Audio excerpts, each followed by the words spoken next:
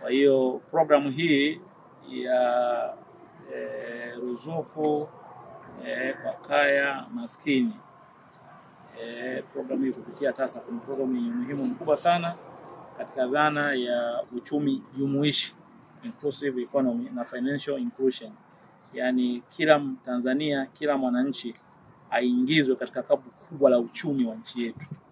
Kwa hiyo uwezeshaji unaofanyika hapa sio uwezeshaji mdogo. Watu ambao watatumia fedha wanazozipata hizi zinaweza zikaonekana ni ndogo, lakini zikitumika vizuri, wala sio fedha ndogo. Sawa ndugu zangu, wala useme elfu ishirini na nne ni ndogo.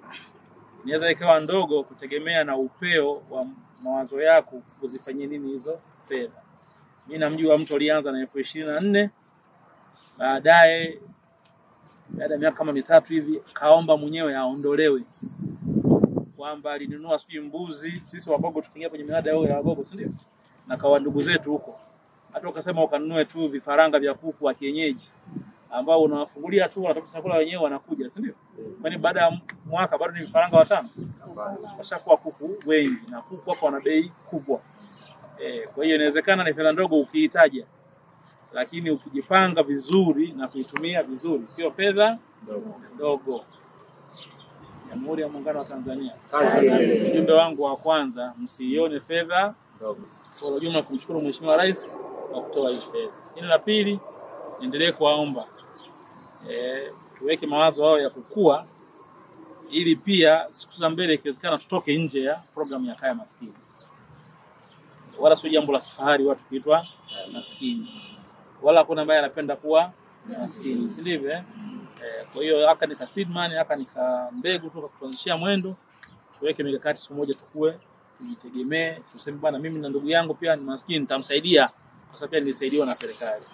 Lakini tusijenge mazingira ya kuwa tegemezi kwa miaka yote tu, sisi maskini miaka mia moja. Hapana, lazima tubadilike.